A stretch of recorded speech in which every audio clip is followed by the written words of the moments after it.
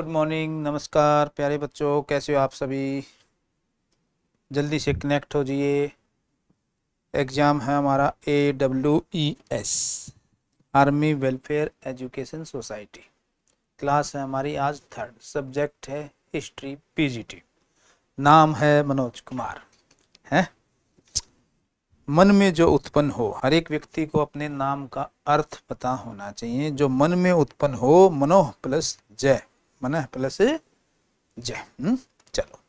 कैसे हो आप? तबीयत सही है सबकी? पढ़ाई वढ़ाई तो चलती रहेगी टेंशन ना लिया करो। टेंशन लेने से कौन सी ज़िंदगी हल हो जाएगी? प्रॉब्लम है कोई वो तो रहेगी। वो तो ख़त्म होनी नहीं है वो तो सोचने से बड़े होगी। जब तक कोई कार्य नहीं करोगे जब तक कोई स्टेप नहीं उठाओगे समस्याएँ हल नहीं होती है ना?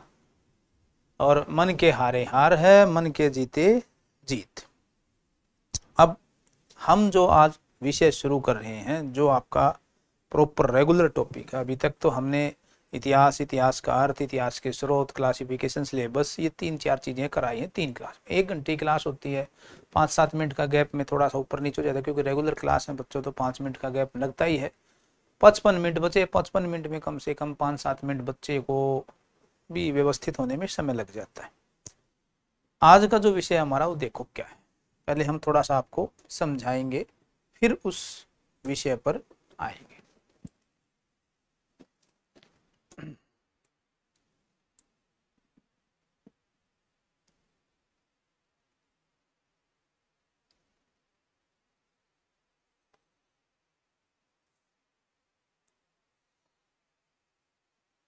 थोड़ा सा जब हिस्ट्री की हम बात करते हैं ना बच्चों तो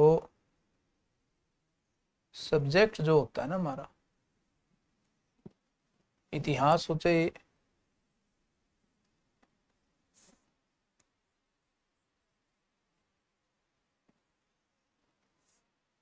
कोई भी सब्जेक्ट हो,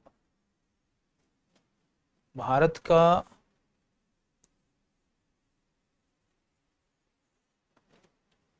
सिस्टम ऐसा है कि जो मैप बनाए बिना आप कोई भी विषय ढंग से नहीं समझा सकते।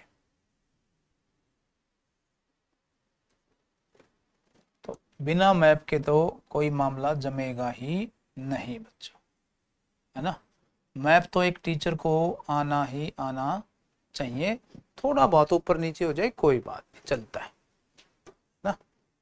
ये व्यवस्था होनी चाहिए ताकि आपका कोई भी क्वेश्चन गलत हो जाए। चल जाएगा, लेकिन ड्राइंग थोड़ी सी आपकी ठीक होनी चाहिए। अब पढ़ा क्या रहे हम आपको?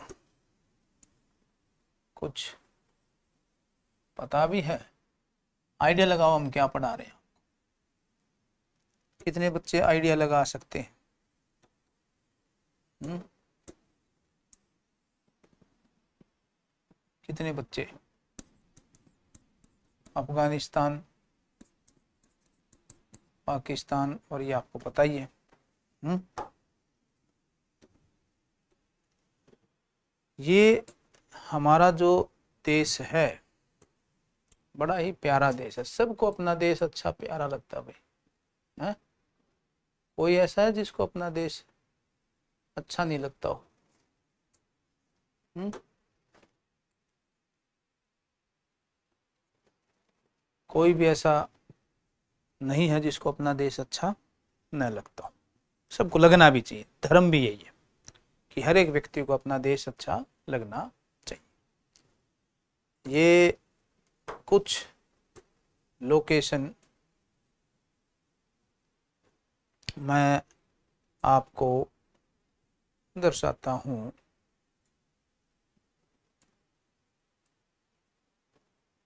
और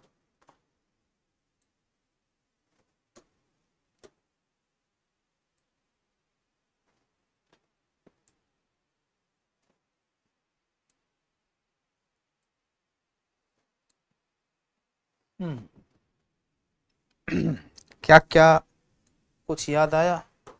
क्या लिखूँगा आप देख लेना। इन जगह का नाम लिखता हूँ, फिर देखना क्या बता रहा हूँ।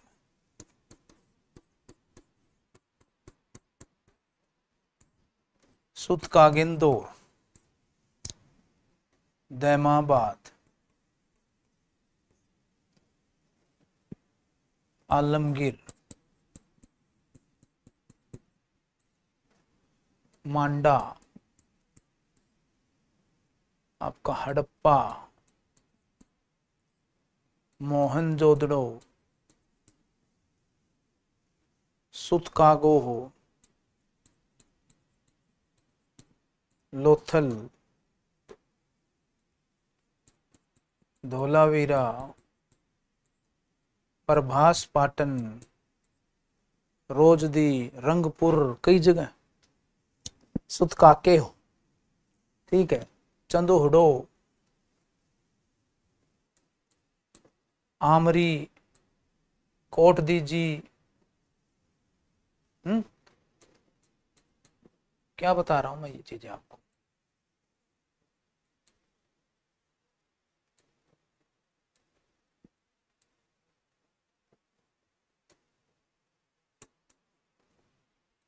मिताथल कालीबंगा।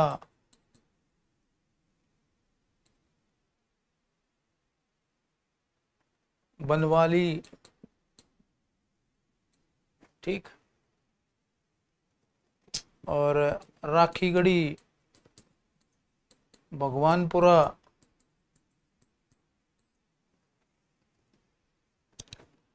ये है क्या? कुछ आया समझ में, क्या बता रहा हूँ? ये मैंने जगह बताई है कौन सी? हड़प्पा सभ्यता। दूसरा नाम सिंधु घाटी सभ्यता। तीसरा नाम काश्य युगीन सभ्यता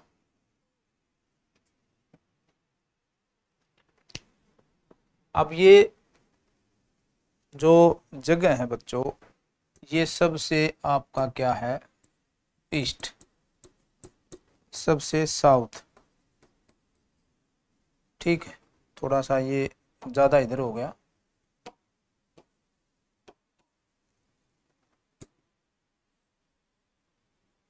ये यहाँ पर आएगा। दैमाबाद और ये आपका सबसे वेस्ट और ये सबसे आपका नॉर्थ।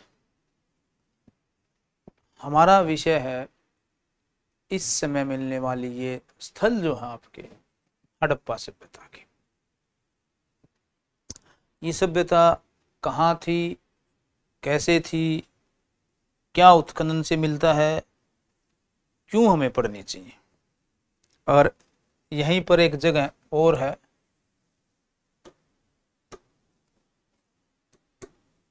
भिरडाना। ठीक, और ये राखी गढ़ी तुम्हें पता भी है कि इन स्थलों में सबसे प्राचीनतम स्थल और सबसे बड़ा स्थल यहीं पर आंसर। सभ्यता होती क्या बच्चों? पूजा सक्सेना पश्चिम उत्तर सीमा से आए लोगों के बारे में बताएँगे। चलो बेटा, अब बताओ कि मैं पश्चिम उत्तर सीमा से आए लोगों के बारे में बता रहा हूँ या कुछ और बता रहा हूँ? पूजा बेटा, कनेक्ट आप इसी क्लास से हुए हो? ए डब्ल्यू एस से हम्म? एक बार जवाब दीजिए। अब एक ही क्लास में हो ना आप, बेटा? पश्चिमी उत्तर सीमा से आए हुए लोगों को अगर मैं बताता बेटा तो यहीं तक मैं रखता ये लोकेशन अलग हो जाती। अब जो मैं बता रहा हूँ, वो मैं बात कर रहा हूँ हड़प्पा सभ्यता की। है ना? क्या होती है सभ्यता? क्या मामले होते हैं? कैसे क्वेश्चन आते हैं? ये चीज़ें आपकी पेपरों में बहुत पूछते हैं। शुरुआत का आपका इंडियन हिस्ट्री का टॉपिक ही यही है। बैकग्राउंड में इसमें कुछ नहीं है। हालाँकि इंटरनल इंट्रोडक्शन में आपको बताया था मैं, पाषाण काल, जिसमें पूरा पाषाण, मध्य पाषाण, नव पाषाण, फिर आपका लोह युग ताम्र युग ताम्र पाषाण युग हल्का फुल्का मैंने बताया था इंट्रोडक्शन में। कांस्य युग जो है वो लगभग आपका साढ़े तीन हज़ार ईसा पूर्व से ही माना जाता है। तीन, साढ़े तीन, उसके ऊपर अलग अलग क्या है? संस्कृतियों पर। कुछ और, सर। हाँ कुछ और।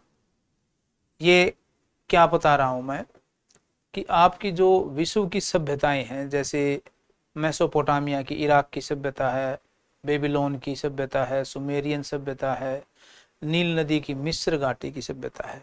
ऐसे ही पीली नदी की हुआंग हो, जो चीन की सभ्यता है, वो।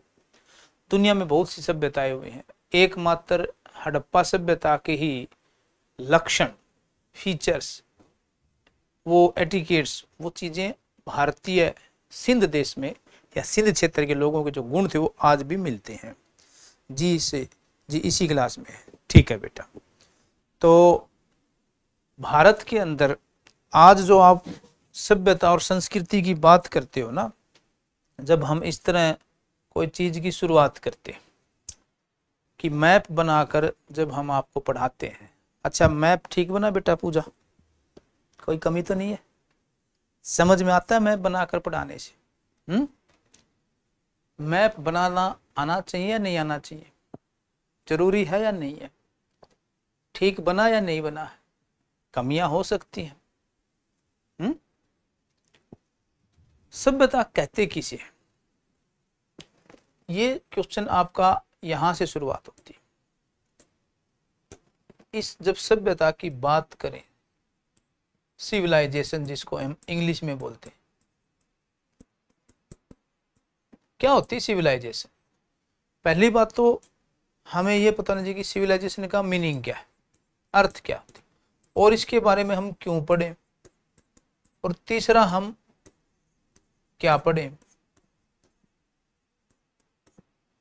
इसका मीनिंग क्या है? और क्यों पढ़े? और क्या पढ़े? क्या होता है मीनिंग का अर्थ? आप जब गाँव में रहते हो, शादी विवाह में जाते हो, शहर की शादी में जाते हो या शहर में रहते हो तो आपका जीने का तौर तरीका एक ही है क्या? या अलग अलग है या सेम रहता है? घर में आप कैसे रहते हो? घर में आप कैसे कपड़े पहनते हो? कोई मेहमान आ जाए तो आपका आचरण कैसा हो जाता है? जब बाहर जाना हो तो आप कैसे कपड़े पहनते हो? बाहर का समय आपका उठने बैठने तरीका क्या होता है? सर, बहुत बढ़िया, सब समझ में आ रहा है। वेरी गुड थैंक यू बेटा। अब देखो, पहली बात तो क्या है कि ये एरिया है जहाँ पर इस सभ्यता के लोग रहते थे। ठीक? और सभ्यता का मतलब क्या होता है कि आप का तौर तरीका क्या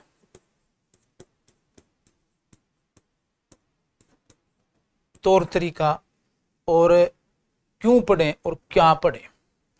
ये दोनों चीज़ें क्या दर्शाते हैं? ये हमारी सांस्कृतिक विरासत है। सांस्कृतिक विरासत बोले, ठीक। या हमारी धरोहर बोले। आज आप जो है, तौर तरीके में हम क्या लेके आएँगे? धर्म, समाज, व्यापार, राजनीति। ये लेके आएँगे। ठीक, कला, संस्कृति। ये होते हैं अर्थ सिविलाइजेशन कि किसी देश के लोगों का, किसी क्षेत्र विशेष के लोगों का तौर तरीका क्या है? और ये सारे तौर तरीके, सांस्कृतिक विरासत, ये हमारे दोनों मिलाकर क्या बन जाते हैं बच्चों? जीवन शैली. आज जो आप पूजा पाठ करते हो, उसमें शिव की पूजा करते हो, नंदी की पूजा करते हो इसका सबसे प्राचीनतम according to your history CBSE में जाएँ तो आपका सिंधु सभ्यता में इसके अवशेष मिलते हैं, लिंग व योनि के साक्ष्य मिलते हैं। और आज भी आप क्या करते हो? वही जीवन जी रहे हो। शिव जी की पूजा करते हो मात्र शक्ति की पूजा करते हो, ये कहाँ से आया? कैसे पता चला? ये जो स्थल है भिरडाना यह फतेहाबाद ज़िले में है। हरियाणा में। आज तक जितने भी स्थल खोजे गए हैं, हड़प्पा सभ्यता का सबसे प्राचीन स्थल है साढ़े सात हज़ार बीसी। साढ़े सात हज़ार बीसी में यदि हम खींच के ले जाएँ तो आपका नवपाषाण आ जाता है। नवपाषाण वो स्थल है, वो समय है, जब मनुष्य ने स्थायी जीवन और खेती बाड़ी विधिवत रूप से सीख लिया था। ठीक, जो आपका कोल्डी हवा है, यूपी में। एक जगह है कोल्डी हवा यूपी में, वहाँ पर धान के प्राचीनतम साक्ष्य मिले हैं, जो लगभग 6000 हज़ार बीसी है। और मेहरगढ़, ये जो पाकिस्तान है, यहाँ पर, मेहरगढ़ सिंध का इलाका, यहाँ पर नवपाषाण काली स्थल, जहाँ से कपास के सबसे पुराने साक्ष्य मिले हैं, पाँच हज़ार बीसी, जो हड़प्पा के पूर्ववर्ती है। और मेहरगढ़ से ही गेहूँ के साक्ष्य मिले।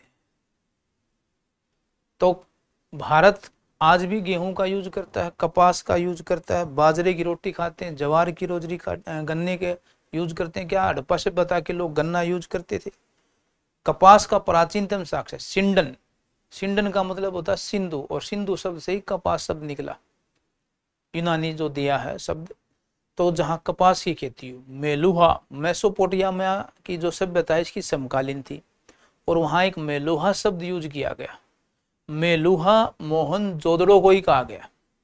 और ये क्वेश्चन पूछा हुआ है कि मैसोपोटामिया में जो मेलुहा है, वो क्या दर्शाता है? मैसोपोटामिया का अर्थ होता है, बच्चों, दो नदियों के बीच का उपजाऊ क्षेत्र। तो मैसोपोटामिया में जो टाइग्रिस और रजला और फर्रात, दो नदियाँ हैं इराक में। इराक का जो ये क्षेत्र है, ये मैसोपोटामिया कहलाता है। ये भी लगभग पाँच हज़ार साल पुरानी सभ्यता है। और भारत का फारस की खाड़ी के माध्यम से, सिंधु सभ्यता घाटी के माध्यम से व्यापार होता था। वो सारा व्यापारिक स्थल भी आपको दिखाएँगे। किसका व्यापार करते थे? कहाँ से क्या मंगाते थे? ये लोग कैसा जीवन देते थे? नगर व्यवस्था कैसी थी? इतनी उच्च कोटि की नगर थी कि जो आपका चंडीगढ़ जो नगर है ना आज वो चंडीगढ़ भी जो है वो हड़प्पा सभ्यता या मोहनजोदड़ो के नक्शे पर है। ये भी क्वेश्चन पूछा हुआ है कि वर्तमान में भारत में कोई ऐसा नगर है जो मोहनजोदड़ो के नक्शे पर, जिसमें चारों तरफ़ के चौराहे आएँगे, गलियाँ चौकोर होंगी और सड़क चौराहे पर कटेगी तो सेम सिमिलर लगेगा। ऐसा लगेगा जैसे ये चौराहा अभी देखा था पिछला, यानी कि समकोण पर काटती हुई सड़कें, नगरों में सीवर व्यवस्था, पानी की व्यवस्था, प्रकाश की व्यवस्था, और तो और डस्टबिन भी रखे मिले हैं। तो आज आपका कौन सा शहर ऐसा है जहाँ सबसे सुंदर शहर है भारत का खूबसूरत मतलब कि साफ़ सुथरा? सूरत तो नहीं, खूबसूरत नहीं, साफ़ सुथरा शहर। बताओ जरा पूजा, भारत का सबसे क्लीन एंड नीट सिटी कई सालों से वही आ रहा है। कौन सा है? जिसने चंडीगढ़ को भी पीछे छोड़ दिया, क्योंकि वहाँ बकायदा ऐसी मनोवृत्ति पैदा हो गई है। देखो, सिर्फ़ किताबी ज्ञान से लोग जागरूक नहीं बनते। आचरण में जब तक आपके नहीं आएगा, आपके स्वभाव में जब तक नहीं आएगा तब तक वो चीज़, वो शिक्षा अधूरी है। देखो, आप बोलते रहो भाई, हमें सत्य बोलना चाहिए, अहिंसा का पालन करना चाहिए, दूसरों पे दया करनी चाहिए, किसी को धोखा नहीं देना चाहिए। लेकिन आचरण में ना हो तो फ़ायदा क्या हो शिक्षा का? तो वर्तमान में कौन सा ऐसा शहर जो भारत का सबसे खूबसूरत शहर है? मतलब कि सफ़ाई व्यवस्था के हिसाब से। पता है पूजा? किस शहर का सबसे नंबर वन दर्जा दिया गया है? सफ़ाई मिशन महात्मा गांधी के जो मिशन चल रहा था हमारा खूबसूरत शहर बनाने, साफ़ सुथरे। और चंडीगढ़ आपका किस पे बेस है? मोहनदोदड़ो पे। तो किसी भी जगह विशेष की जीवन शैली कैसी है? वहाँ धर्म, समाज, कल्चर, कला, संस्कृति कैसी है? ये सब मिलाकर सभ्यता बनाता है। लोग लड़ाकू थे या शांति प्रिय थे, लोग खेती बाड़ी करते थे या पशु चराते थे, व्यापार वाणिज्य करते थे या नहीं करते थे, कपड़े कैसे थे, जीवन कैसा था, भोजन कैसा था, वेशभूषा कैसे थी, आमोद प्रमोद के साधन कैसे थे, गाड़ियाँ या साधन थे या नहीं थे, या पैदल ही चलते थे। तो यहाँ सारे अवशेष वेरी गुड भाई, आप तो बड़े इंटेलिजेंट अवेयर हो, क्योंकि आपके दस क्वेश्चन कहाँ से आएँगे? करंट अफेयर से इंटरनेशनल और नेशनल तो जो पहली क्लास लगाई थी, वो आपने देखी थी? अगर जो फ़र्स्ट क्लास लगाई है तो हमने आपको उसमें क्लासिफिकेशन बताया है कि सब्जेक्ट से कहाँ से कैसे क्वेश्चन आएँगे। तो हड़प्पा सभ्यता, पुरातात्ववादी, जो पुरातात्विक शास्त्री यानी कि जो खोद कर, खुदाई कर कर अनुमान लगाते हैं, वो कैसे पता करते हैं, कहाँ पर क्या मिला, हड़प्पा सभ्यता का मतलब क्या है? तो सभ्यता का इन द सेंस हम आपको बता चुके हैं कि किसी जगह का तौर तरीका। क्यों और क्या पढ़े? क्या पढ़े हमने कि यहाँ से कैसे उत्खनन मिले हैं? क्या क्या प्रमाण मिले हैं? क्या साक्ष्य मिले हैं? तो जैसे बिरडाना से मटके आभूषण और कुछ वस्त्र मिले हैं तो इसका मतलब साढ़े सात हज़ार बीसी प्लस दो हज़ार, यानी कि साढ़े नौ हज़ार साल पहले यहाँ के लोग मृद भांड बनाने में सक्षम थे। मृद भांड यानी कि मटका। मटका कब बनेगा? जब चाक होगा। तो यानी कि नव पाषाण काल में ही पहिए का आविष्कार मनुष्य की क्रांतिकारी परिवर्तन माना जाता है। ठीक है? सर हम मैस तुरंत करते हैं, पर आप तक टाइम लगता है। कोई बात नहीं। वो बता, होता है, टेक्निकल नहीं होता, ये समय लगता है। कोई बात नहीं। मैसेज आ जाता है आपका। सब साफ़ है कई सालों से। अच्छा साफ़ क्यों है भाई? सर, हम कंटिन्यू आपकी क्लास पढ़ रहे हैं। वेरी गुड कंटिन्यूटी बेटा ज़रूरी है। अगर आप कंटिन्यूटी नहीं रखोगे तो गड़बड़ हो जाएगा। मामला गड़बड़ा जाएगा। तो हड़प्पा सभ्यता में क्या पढ़ना है कि भाई कहाँ से कौन से उत्खनन मिले जैसे भिरडाना सबसे पुराना स्थल है, मटके मिले मृदबांड मृदबांड का मतलब क्या? वो मिट्टी के शेप देने में जानकार थे, यानी कि मिट्टी की मूर्तियाँ बनाते थे, मिट्टी के मटके भी बनाते हैं, और ये काले लाल मृदबांड वाली संस्कृति मानी जाती है। पॉलिश वाले लाल काले मृदबांड आपके उत्तर, नॉर्थ पॉलिश आएगा आपका उत्तर मौर्य मौर्य काल में और गैरवे मृदबांड आएँगे आपका वैदिक काल में। ठीक है? और आपका चित्रित दूसरे मृदबांड आएगा आपका लोह युग में तो कर्म भी आ जाएगा। वो भी बताएँगे कि मृदबांड संस्कृति का कर्म बताएँ। तो ऑनलाइन आज ही आए हैं हम। कोई नहीं, पिछली दो क्लास में रिकॉर्ड हो गई होंगी बेटा, वो भी पढ़ लेना। उसमें थोड़ा सा एक ड्राफ्टिंग बताइए कि क्या पढ़ना है, कैसे पढ़ना है और क्या क्या सिलेबस है। ठीक है? आज विधिवत रूप से सिलेबस आपका आज शुरू हुआ तो हड़प्पा सभ्यता में क्यों पढ़े, क्या पढ़े? क्यों का मामला रह गया? क्या आप अपनी संस्कृति को भूल जाना चाहते हो? आपका वजूद क्या, आपकी जड़ें क्या है? आपके समाज के अंदर जो ये रीति रिवाज हैं, परंपराएँ हैं कि कैसे जीवन जीना चाहिए, वो आप भूल जाना चाहते हो कि? क्योंकि आपको सामाजिक अध्ययन क्यों पढ़ाया जाता है? सोशल स्टडी, फिर सब्जेक्ट, पीजीटी क्यों पढ़ाया जाता है? आप पीढ़ी दर पीढ़ी जो परंपराएँ हैं रीति रिवाज हैं, वो एक पीढ़ी से दूसरी पीढ़ी, ऐसी तो जाती आई है। पाँच हज़ार साल हो गए हमारी सभ्यता को। अगर हम ऐसे ही आज के सो कार्ड मॉडर्न हो जाते और नहीं समझते तो आपको आज पता चलता। खुदाई से पता चल रहा है। यहाँ पर सिक्के मिले हैं, यहाँ अभिलेख मिले हैं, यहाँ पर पांडुलिपियाँ मिली हैं, यहाँ पर मंदिर मिले हैं, यहाँ पर मूर्तियाँ मिली हैं, यहाँ पर मरण मूर्तियाँ मिली हैं, यहाँ पर लिपि के कुछ साक्ष्य मिले हैं। इनसे पता चलता है। कि वहाँ के लोगों का जीवन कैसा था? बड़ी बड़ी ईटे, खुदाई से मोहनजोदड़ो मिला है पूरा हड़प्पा मिला है इनके नगर देखने को मिलते हैं। ये देखता भी कैसे लोग थे? घर कैसे थे? डबल मंजिला घर थे। डबल मंजिला घर मोहनजोदड़ो में डबल मंजिला घर मिले। हड़प्पा में डबल मंजिला घर बने। ऐसे ही राखीगढ़ी जो है, ये सबसे बड़ा क्षेत्र है अभी तक का हड़प्पा से बतागा चाहे वो पाकिस्तान हो, चाहे भारत हो। और इसके ज़्यादा स्थल भारत में मिले हैं और भारत में सबसे ज़्यादा गुजरात में मिले हैं। और जो दुनिया का सबसे प्राचीनतम गोदीबाड़ा गोदीबाड़ा का मतलब बंदरगाह। और ईटों से निर्मित है, यानी कि प्राकृतिक नियम, मानव निर्मित है। इसका मतलब वहाँ के लोग बंदरगाह बनाने में दक्ष थे। कितने साल पुराने? पाँच हज़ार। बंदरगाह बनाने में दक्ष थे। ओके बेटा वेरी गुड तीन क्लास पढ़ चुके हैं तो एक पिक्चर क्लियर हो गई होगी कि अभी तक हमने क्या किया है। आज ये आपकी फोर्थ क्लास है। तो ये जो लोथल है, आपका दुनिया का सबसे प्राचीन बंदरगाह है। और इस लोथल से ही जो है ना, आपका क्या होता था? व्यापार होता था बच्चों, जो फारस की खाड़ी तक होता था। फारस की खाड़ी के माध्यम से मैसोपोटामिया तो फारस की खाड़ी का मतलब क्या? पर्सिया पर्सिया का मतलब क्या? ईरान। और मैसोपोटामिया मतलब क्या? इराक। तो इधर आपका फारस तक व्यापार होता था। यानी कि ये लोग नाव क्यों बनाएँगे? घूमने के लिए तो बनाएँगे नहीं। तो व्यापार ये करते थे, वाणिज्य ये करते थे, नगरों में ये रहते थे, सीवरेज व्यवस्था इनकी अच्छी थी, कपड़े इनकी अच्छे थे, वेशभूषा इनकी अच्छी थी, समाज में आमोद प्रमोद मिलन के संयुक्त परिवार होता था नगर का विभाजन होता, दुर्ग होते थे। दुर्ग का मतलब किले बनाए जाते थे। किले का मतलब इनको सुरक्षा की ज़िम्मेदारी थी। सुरक्षा मतलब ये सचेत रहते थे। खाद्यान्न के मिले हैं। खाद्यान्नों को स्टोर करने के लिए क्या मिले? अन्नागार मिले हैं। बड़े बड़े सभागार मिले हैं। सभागार का मतलब क्या होता है? जो गाँव का नगर का मुखिया होगा, वो गाँव की समस्याएँ हल करेगा। समस्या हल करने के लिए छोटी सी बैठक में तो बैठ नहीं सकते। एक बड़ा सभागार होना चाहिए, मंडप होना चाहिए। ऊपर से कब्रिस्तान मिले हैं।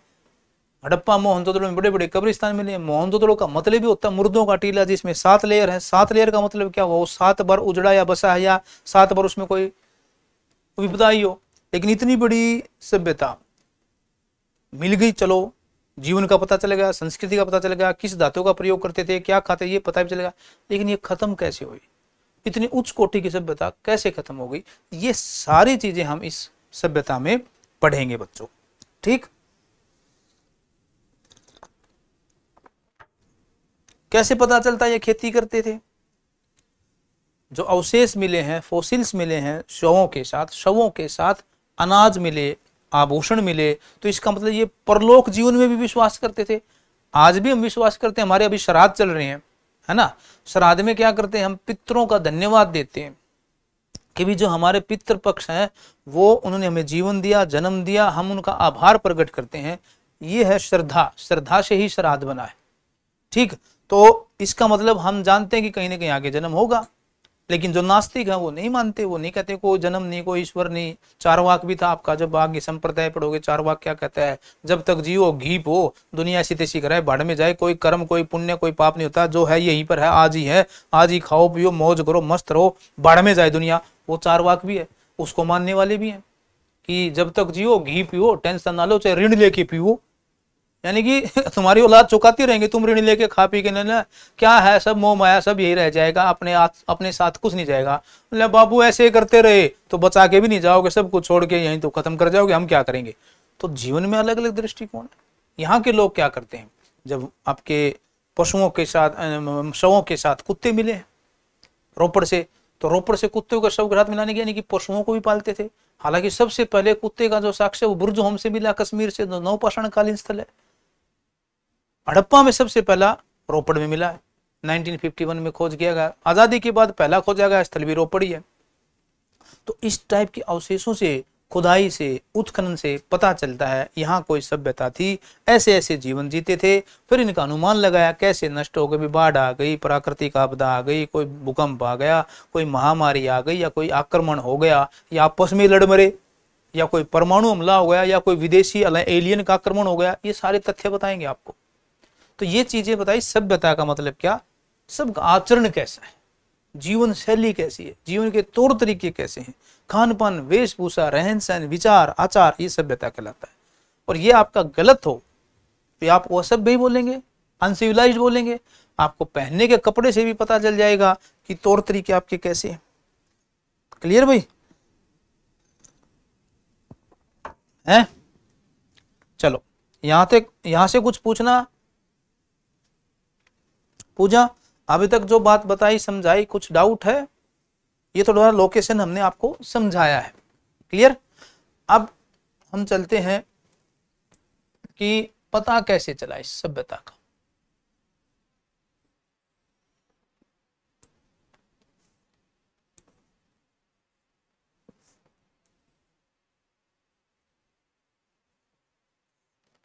इस सभ्यता का पता कैसे चला भाई? यहाँ पर कोई सभ्यता थी, है? अब पॉइंट तो ऐसे ही बनते ना पेपरों में।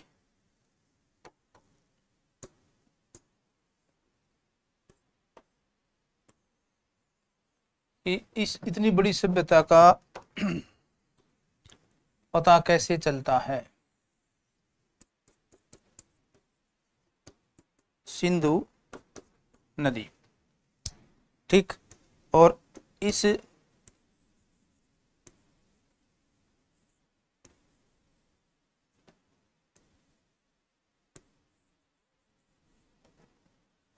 इस सिंधु नदी के किनारे घटनाएँ क्या घटी हैं? देखो 1824 में। ये आपको पता है कि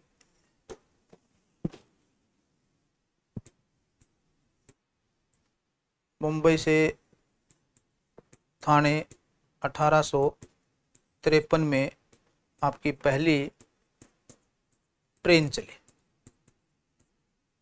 ठीक है?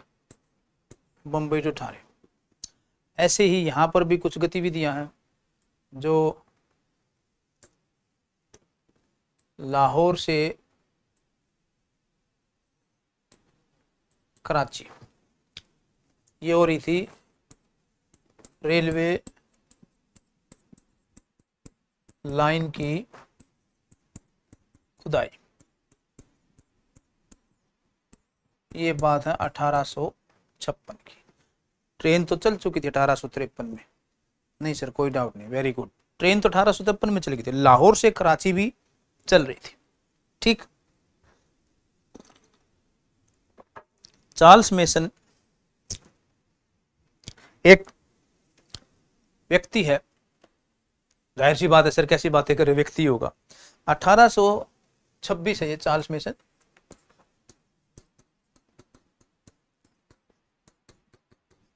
चार्ल्स मेसन था न्यूमिस्मेटिक्स।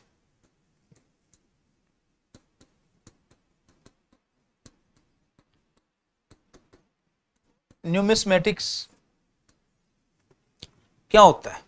न्यूमिस्मेटिक होता है सिक्कों का अध्ययन करने वाला। यानी कि सिक्के कहाँ से मिले, कैसे सिक्के थे, उनसे क्या क्या पता चलता है। तो इसने पहली बार इस क्षेत्र में, ये जो लाहौर से कराची हो रही यहीं पर आपका क्या है, हड़प्पा है है ना? इस क्षेत्र में चार्ल्स मेसिन ने यहाँ पर कुछ एहसास हुआ। यहाँ पर कुछ है भाई। टीले विले देख लिए आइडिया लगाया होगा, कुछ मिला होगा। तो चार्ल्स मेसिन ने 1826 में बड़ी संख्या में यहाँ से ईटे प्राप्त की अलग टाइप की। ईटे प्राप्त हुई। यह है इसकी शुरुआत, कि जो हड़प्पा सभ्यता है, उसकी शुरुआत इस टाइप के रूप में हुई। चार्ल्स मेसिन के ईटों की प्राप्ति से। यानी कि पहला एक क्लू मिला। तो पहला क्लू देने वाला व्यक्ति कौन है? चार्ल्स मेसन 1826 में। चलो, हो गई बात। और ये 1831 में एक और व्यापारी है। ये तो 26 है। दूसरा है 1831 में। 1831 में है Alexander colonel Burnes, colonel Alexander Burnes.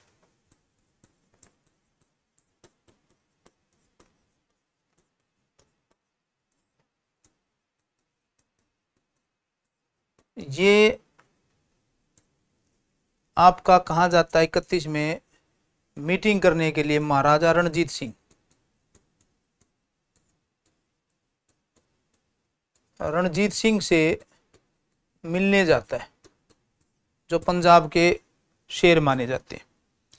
जब महाराजा रणजीत सिंह से मिलने जाता है, तब भी उनकी नज़र हड़प्पा पर पड़ी। ये दूसरा क्लू यानी कि ये सेकंड क्लू है, लेकिन इनकी व्यापारी था ये। ये था व्यापारी। और बेचारे की काबुल में चाकू मारकर हत्या कर दी। काबुल में इसकी हत्या हो गई। लेकिन उससे पहले ये क्लू दे गया। 1831 में। Charles Masson. सॉरी ये कर्नल पंच। और तीसरा क्लू मिलता है अठारह और अठारह अलेक्जेंडर कनिंग। अब ये जो रेलवे लाइन खुद रही है ना, यहाँ पर है मेजर बर्टन। बर्टन बंधु है ये। मेजर नहीं, हम इसको बर्टन बंधु बोलेंगे। बर्टन बंधु है ये काम करने वाले इंजीनियर।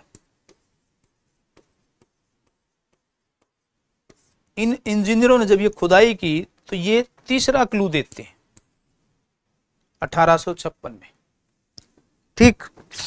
और इन्होंने क्या कहा कि जो जॉन बर्टन और विलियम बंट, ये दो व्यक्ति हैं, बर्टन बंधु, जॉन और विलियम।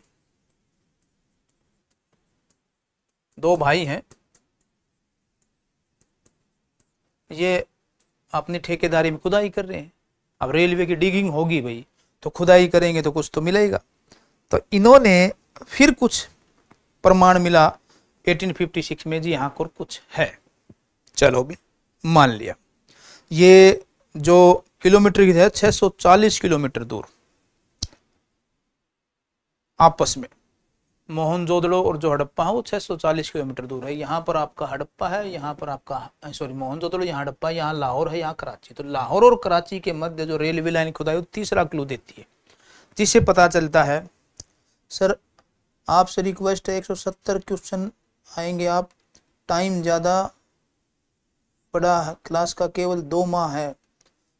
अच्छा जितना उसके ज़्यादा पॉइंट जानना चाह है कॉन्टेक्ट के प्लीज़ तो उसी हिसाब से पढ़ा रहे हैं बेटा। उसी हिसाब से पढ़ा रहे हैं। देखो, एकदम से स्पीड नहीं पकड़ेंगे। स्पीड उतना देखो कंसेप्ट क्लियर होने चाहिए आपके। फैक्ट्स तो आपके नोट्स पे ही मिल जाएँगे। स्पीड आपको कम लग रही है क्योंकि टीचर को सारी चीज़ें बतानी पड़ती हैं। हर टाइप के बच्चे होते हैं। कोई थोड़ा जल्दी समझता है, कोई थोड़ा लेट समझता है। चलो, कोई नहीं। तो तीसरा पॉइंट ये हुआ। अब ऐसे में तीन पॉइंट क्लियर हुए। कि सबसे पहले जानकारी किसने दी? क्वेश्चन आया हुआ आपका चार्ल्स मेसन का 1826 में। बर्टन बंधु और आपका अलेक्जेंडर का मामला भी क्वेश्चन में बनता है। तो हड़प्पा के टीले की खोज सबसे पहले किसने दी? आपका मेजर किसने? चार्ल्स मेसन ने। अब अठारह सौ पचासी छप्पन के बाद क्या घटना घटती है? आपका आर्कियोलॉजिकल सर्वे ऑफ़ इंडिया भारतीय पुरातत्व विभाग।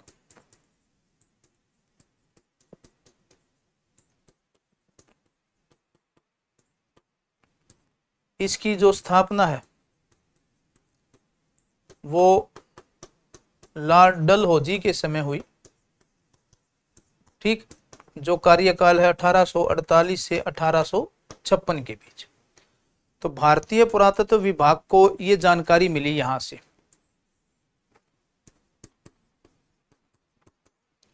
अब ये जो जानकारी दी तो पुरातत्व विभाग के अध्यक्ष कौन है? उस वक्त तो वो वहाँ पर आपके जनरल कनिंगम जनरल कनिंगम को यह जानकारी मिली अठारह से अठारह के बीच है तो तिरपन से सतावन के बीच आपके ये कनिंगम इसके क्या भारतीय पुरातत्व विभाग के अध्यक्ष अलेक्जेंडर कनिंगम इन्होंने खंडरों का निरीक्षण किया। क्लियर?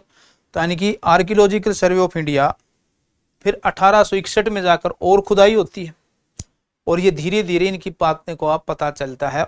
और लास्ट में 1921 में, इसके बाद 1921 में सर जॉन मार्शल, भारतीय पुरातत्व विभाग, इंडियन आर्कियोलॉजिकल डिपार्टमेंट के हेड बनते हैं। और इसके अधीन दो व्यक्ति काम करते हैं। सर जॉन मार्शल के अधीन। एक आर डी बनर्जी और एक डी आर साहनी। इन दो व्यक्तियों ने काम शुरू किया 1921 में। तो डी आर साहनी, दयाराम साहनी ने 1921 में इसकी खोज की और आर डी बनर्जी ने 1922 में किसकी खोज की? जल्दी बताओ भाई। तो ये तीन पॉइंट हैं, एक चार्ल्स मेसन का, एक कर्नल अलेक्जेंडर का और एक आपका जॉन और विलियम बर्टन का। तीनों का मामला भारतीय पुरातत्व विभाग में आया। अठारह सौ अड़तालीस छप्पन के बीच लॉर्ड डलहौजी ने पुरातत्व विभाग की स्थापना की। टाइम तो हमेशा बेटा कम ही रहता है। मैनेज करो। कोई भी प्रॉब्लम दुनिया में ऐसी नहीं जो सोल्व ना हो। थोड़ी नींद कम कर दो, पढ़ना ज़्यादा कर दो, हो जाएगा। दो महीने की दिक्कत, दो महीने तो लोग व्रत भी कर लेते हैं। कोई बड़ी बात नहीं, हो जाएगा। तो यहाँ पर क्या है मोहनजोदड़ो की खोज पहले हुई या हड़प्पा की। पहला स्थल कौन सा खोजा गया? 1921 में डी आर सानी ने, दयाराम सानी ने पहला स्थल खोजा हड़प्पा। ठीक? और दूसरा स्थल आपका मोहनजोदड़ो आर डी बनर्जी ने। ये दूसरा स्थल है। कैसे याद रखोगे, देखो, इसमें एच एम है और इसमें एच है। इसमें डी है तो डी पहले आएगा एच पहले आएगा आर बाद में आएगा एम बाद में आएगा। तो कंफ्यूज नहीं हो गए 1922 में मोहनजोदड़ो और उन्नीस सौ पहला स्थल हड़प्पा। तो हड़प्पा, पहला स्थल इसका नाम रखा हड़प्पा सभ्यता। हड़प्पा सभ्यता इसके नाम पर रख दिया। क्यों? क्योंकि जो मोस्टली जो इसके स्थल है, वो सिंधु घाटी के सिंधु नदी के तट पर थे, इसलिए इसको सिंधु नदी घाटी सभ्यता कहा गया। लेकिन जैसे जैसे खुदाई हुई तो पहला नाम इसका रखा था सिंधु घाटी सभ्यता, हड़प्पा सभ्यता का। और मार्टिन व्हीलर ने ये नाम दिया था बच्चों।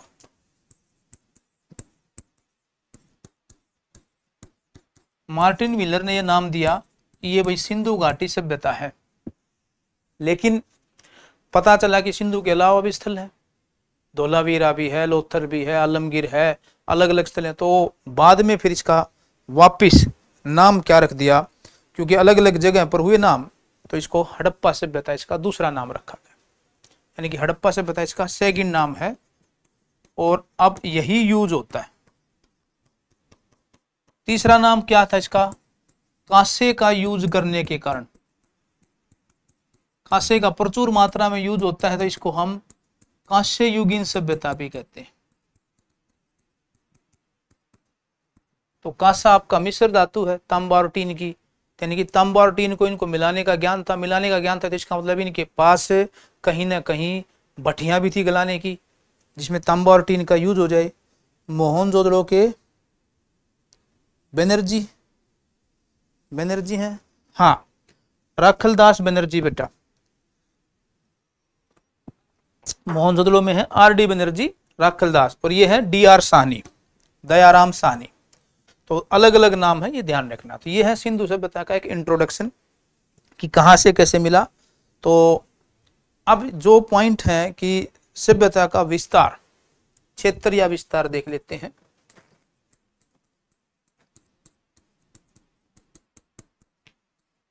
क्षेत्र, विस्तार, समय या काल निर्धारण। इसका समय या काल निर्धारण कैसा है? क्या क्या समय माना गया हड़प्पा सभ्यता का? इतनी बड़ी सभ्यता थी, भाई, समय क्या इसका? यहाँ से भी क्वेश्चन आ जाते हैं। तो जो चरण है ना, काल का निर्धारण तो समय में तो आ जाएगा तिथि। कि किस तिथि से इसका समय माना जाता है? और काल में आ जाएगा चरण। अलग अलग क्वेश्चन आ जाते हैं। तो पहला चरण होता है बच्चों पूर्व हड़प्पा।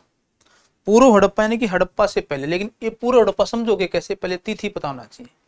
तिथि में अब देखो कौन से कौन से क्वेश्चन है। क्षेत्र में आ जाएगा आपका पाकिस्तान, अफ़गानिस्तान और इंडिया। ये तीन देशों में इसके क्षेत्र है, पाकिस्तान में, अफ़गानिस्तान में और इंडिया में। ये कहाँ कहाँ पर ये भी बताएँगे। पहले तिथि देखो। कि किसने क्या तिथि बताई है? हड़प्पा से बता बताएगी कैसे कैसे क्वेश्चन आपके आए हुए हैं, ये भी चीज़ें ज़रूरी हैं बच्चों। तो जो सर जान मार्शल है, जो इंपॉर्टेंट है, वही बताएँगे हम। सर जो जान मार्शल हैं, वो कहते हैं कि संभवतः इसका समय जो है बच्चों, वो 3250 से 2750 बीसी माना जाता है।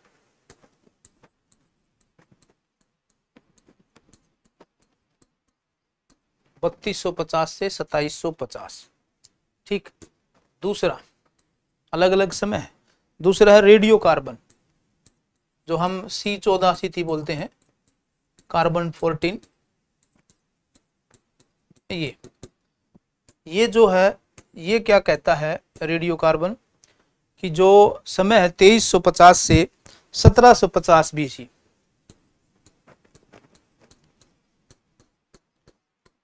बीसी का मतलब होता है बिफोर क्राइस्ट ठीक? थर्ड है Wheeler Martin Wheeler Martin Wheeler है, ये कहते हैं बच्चों 2500 से 1500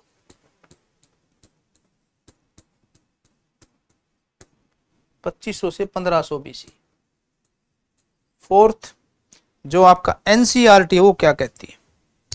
कई बार पूछा हुआ है कि एक तो एनसीईआरटी का पूछा हुआ है और एक मार्टिन व्हीलर का पूछा हुआ है। एनसीईआरटी कहती है,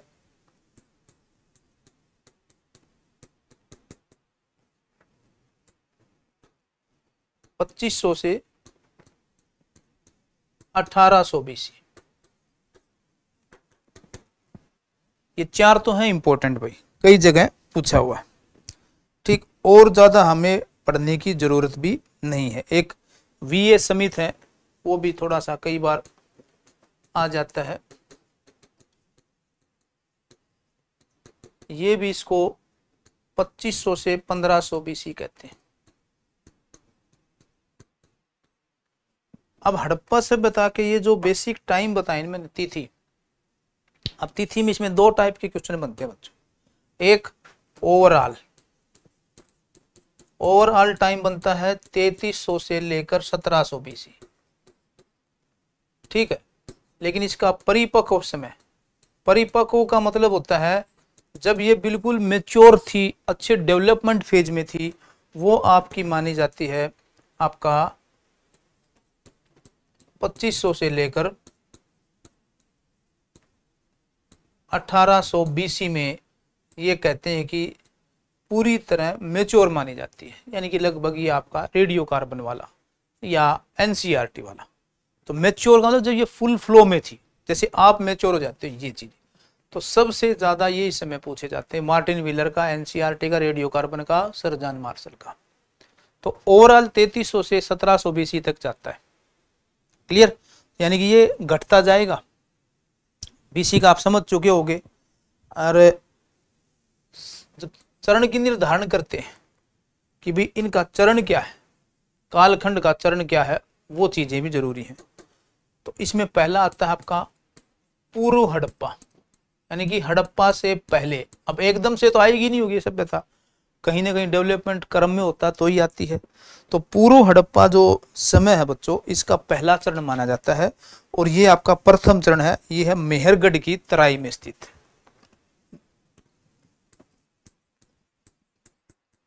मेहरगढ़, जहाँ सबसे पहले किसके साक्ष्य मिलते हैं? कपास के। और मेहरगढ़ की तराई मेहरगढ़ है कहा? मोहन से ऊपर थोड़ा सा नॉर्थ वेस्ट में। और ये पहला चरण माना जाता है इसका। और ये लगभग जाता है पाँच हज़ार बीसी अभी बताया था मैंने। तो मेहरगढ़ है, ये पूर्व हड़प्पा माना जाता है, यानी कि हड़प्पा से पहले के लोगों का। मोहनजोड़ो से 150 मील उत्तर की तरफ़। क्लियर तो भारतीय स्थायी कृषि का प्रमाण साक्ष्य है। यानी कि लोग जो है स्पष्ट रूप से कपास की खेती या गेहूँ की खेती दोनों के साक्ष्य यहाँ से मिले दूसरा है आरंभिक हड़प्पा। पूर्व हड़प्पा की जगह दूसरा चरण है आरंभिक हड़प्पा।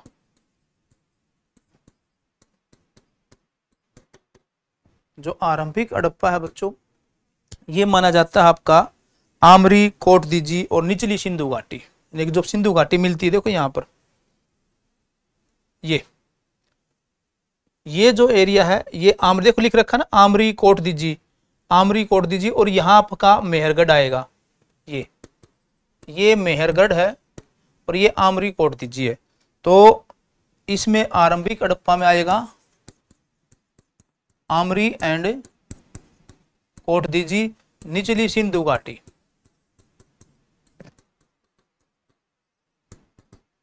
ठीक, ये लगभग जाता आपका तीन हज़ार या पैंतीस सौ बीसी के आसपास का समय।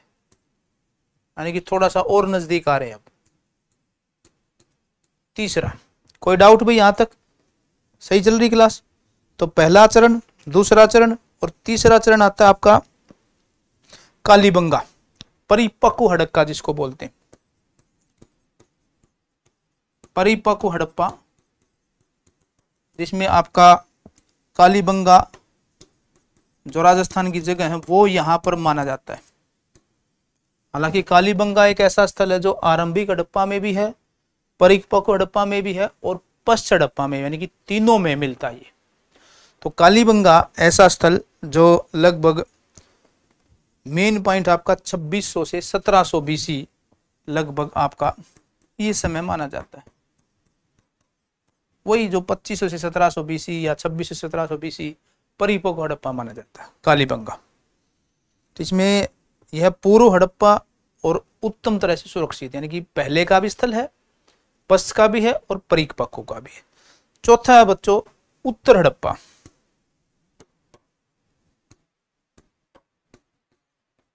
उत्तर का मतलब होता है परवर्ती। परवर्ती का मतलब होता है बाद, पोस्ट, अंतिम। और ये आपका 1800 बीसी के बाद है। और इसमें आएगा आपका लोथल।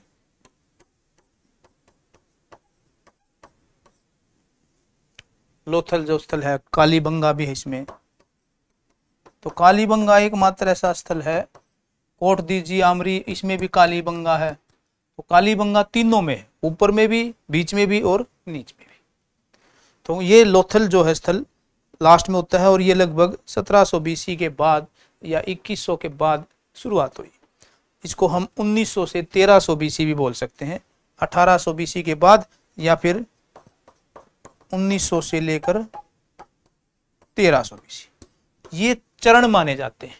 तो पूर्व हड़प्पा चरण, आरंभिक हड़प्पा, परिपक्व हड़प्पा और उत्तर या पोस्ट हड़प्पा। ये समय हो गया अफ़गानिस्तान, पाकिस्तान और इंडिया में इसके स्थल हो गए। सबसे ज़्यादा स्थल इसके इंडिया में है। इंडिया में सबसे ज़्यादा इसके स्थल कहाँ पर हैं? गुजरात में है। कुछ इसकी बंदरगाहें हैं, वो बताएँगे हम अगली क्लास में। भारत में सबसे बड़ा स्थल राखीगढ़ी, पाकिस्तान में सबसे बड़ा स्थल मोहनजोदड़ो। दोनों को मिलाकर सबसे बड़ा स्थल राखीगढ़ी ही आएगा, जो मोहनजोदड़ो से भी बड़ा है। अब बताओ जरा, कोई डाउट है? आज की क्लास समय हो गया तो इंट्रोडक्शन ऑफ़ मोहनजोदड़ो हो गया, उसके स्थल हो गए, खोज हो गई और समय और काल का निर्धारण हो गया। कोई डाउट बेटा? पिछली, अगली क्लास में हम इसमें अब शुरू कर देंगे अलग अलग स्थल और विशेषताएँ कि कहाँ से क्या मिला है। बहुत इंपॉर्टेंट क्लास होगी मिस मत करना। बोलो भाई, पूजा। हम्म कई कई जगह ये भी कहा गया है कि ये जो मिस्र की जो सभ्यता है, मेसोपोटामिया, उसकी कॉलोनी है। ऐसा नहीं है। उसके पक्ष में क्या मामले थी? तो अब अगली क्लास इकोनॉमिक्स की होगी। मिलते हैं उसमें, बेटा। नमस्कार।